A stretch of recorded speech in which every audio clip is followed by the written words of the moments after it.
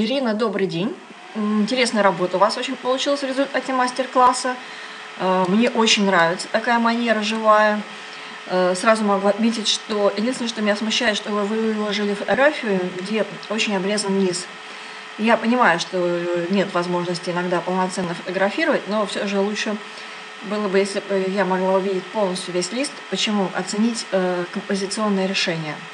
Но, тем не менее, очень живое, живая труба, граммофонная получился. Вообще у вас такая живая манера живописью поставили, очень хорошая. Э, красные шары, яркие, сочные, да, замечательные совершенно. Какие я могла бы здесь дать вам рекомендации? Э, старайтесь избегать откровенно голубых. Почему? Они спорят с красным цветом. Вот именно в таком сочетании желтый с красным и появление резких, э, ярко выраженных голубых очень так смотрится инородно. Но при этом неплохо смотрятся они же, эти же мазки, да, вот как в качестве пыли верхней поверхности. Здесь хорошо смотреться будут зелено-серые, такие с легким оливковым каким-то налетом, с легким каким-то таким спокойным, таким благородно зеленоватым сероватым оттенком. Это что касается именно цветового решения. В целом мне работа очень нравится, очень такая живая, э, живописная в хорошем смысле слова. Что можно еще про композиционное решение? Э, немножко здесь просится вот что-то какое-то дополнение, да, чтобы был классический треугольник.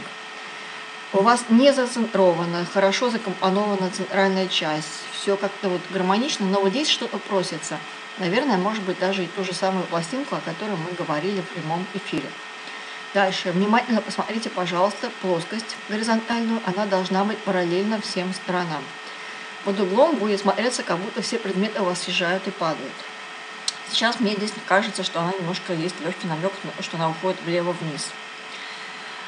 А, делать круглый стол не надо, лучше пренебречь э, этим силуэтом, то, что там в референсе. У меня просто один круглый стол в мастерской и других вариантов нету. По построению предметов. Здесь есть легкая запутанность, здесь есть легкие такие сложности. Граммофонная труба по отношению к деревянному корпусу разумно, да, вот э, такой размер, соразмерно, все смотрится неплохо. А вот пластинка почему-то очень резко укоротилась по краям, да, и оголился большой, большая часть корпуса. Все же пластинка более плоская, более вытянутая. Почему? Посмотрите, пожалуйста, размер пластинки и размер красного шара. Пластинка уменьшилась, а красный шар очень сильно увеличился. И он еще и вышел вперед деревянной коробки. Я имею в виду, если посмотреть сверху на план стола, то он лежит далеко вперед и как будто выпихивает к нам сюда щелкунчика. Что можно сделать в этой ситуации? Просто уменьшить сильно снизу красный шар. Спрятать его, сделать так, чтобы он стоял за коробкой – то есть буквально 2-3 сантиметра снизу его подкоротить. Пастель позволяет наносить коррективы, изменения. Несколько слоев точно можно переделывать. Красный цвет экспрессивный, перекрывать его сложно. Вероятно, прежде чем перекрывать, вам придется здесь немножко выбрать или клячка, если она у вас есть. Клячка это лучше всего Faber-Castell серого цвета, такая как ну, масса вязкая, серенькая. И либо просто резинкой аккуратно, мягкой-мягкой, и просто его подкоротить. И со стороны тени тоже. Тем самым он у вас отодвинется в глубину, он не будет мешать щелкунчику и не будет спорить по размеру с э, деревянной коробкой. Граммофон, предмет сам по себе очень крупный, очень объемный, и, конечно же, никакой новогодний шар с ним сравниться не может. Отсюда немножко великоваты эти два шара, то есть если вы уменьшите сильно этот шар, вы увидите, что эти шары у вас приравнялись по размеру к этому, и их просто тоже аккуратно прорисовать внимательно, да, и уменьшить. По крайней мере, тот, который большой и дальний, точно.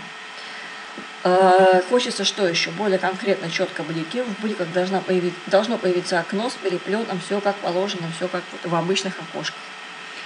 Фон я вам рекомендую сделать также этюдно-эскизно, так как вы делаете его здесь, какими-то вот такими штришочками, областями, просто немножко вот здесь его сделать потемнее, да, чтобы вот классический треугольник прямо визуально прочитывался. Все.